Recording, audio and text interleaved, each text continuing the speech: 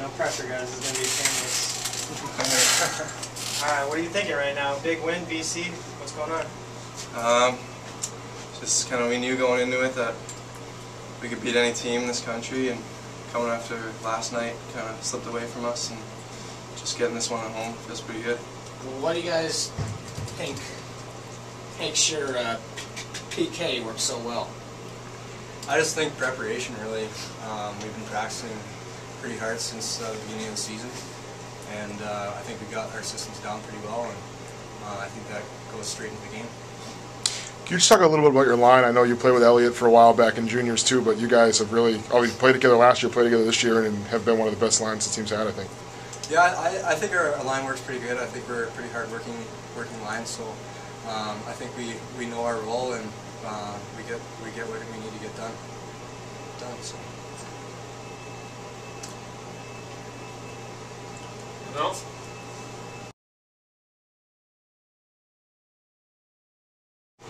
How much confidence does a win like that give you guys? I thought um, last night's game gave us a little confidence as well to go into uh, the defending national champion uh, barn on banner night and play as well as we did. Um, but we love playing here, that's for sure. We love playing in front of our, our students. Uh, we're getting more and more alums back. I can't think of too many games over the last 18 months where we haven't played with confidence here. Uh, can you just talk a little bit about Joe again? I mean, we talked about it last night, but uh, certainly once again, I think had a had a really good game for you guys.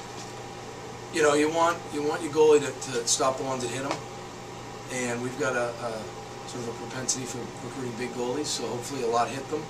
But uh, I mean, you get to a point in the game with Joe where you just know it's gonna it's not gonna happen. Nobody's gonna beat him, you know. Um, and he's been the the the step up in maturity level, uh, just in terms of his preparation and hard work and you know, and then to have the confidence tonight to handle the puck after what happened last night. I thought he did make some great decisions, did a good job. Um, you know, our, our players gave him the hard hat award tonight. I think it was deserving.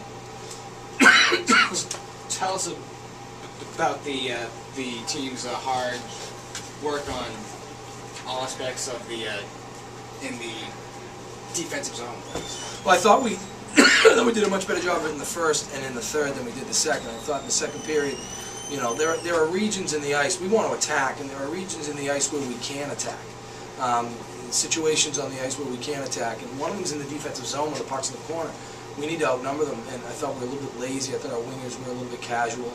Um, we, we did a good job in the middle of the rink to force them to dump pucks, and you know we've got to we've got to attack in those instances, and we thought we got away from it. But all in all, a pretty good effort. And then, like I said, I thought we did, a, you know, maybe not our best in the third, but it was better in the second for sure. Can you comment on the special teams game tonight? Those power play goals were pretty big. Yeah, you know, uh, it, both sides of it, and um, we uh, stopped our celebration a little bit in the locker room to recognize both Glenn Stewart and, and Phil Roy, who work, you know, who are responsible for penalty kill and, and uh, power play, respectively, and uh, the, the work they do. At the end of the day, the players make the plays, but they put a lot of work in to, to you know, the schemes and uh, adjustments in between periods because BC made some adjustments on their power play and we just we had it covered. So um, yeah, you know they, they they scored two on us last night. We got one. We scored two on them tonight. They got one. So they go on. You don't want to put them on the power play too often. That's for sure. Let's talk a little bit about uh, the Madsen Sheen Flanagan line.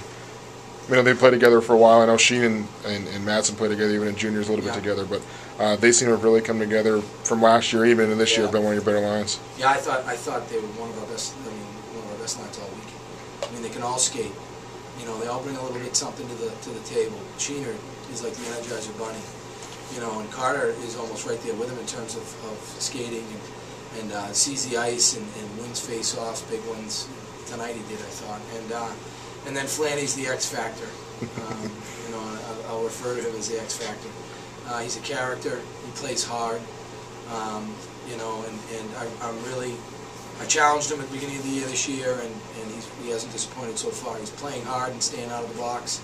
And, uh, I mean, my only gripe with him now is his celebrations, uh, which is why he didn't get the player of the match from me. But I say that in jest. He's done a real good job, and, and that line has really giving us a third option.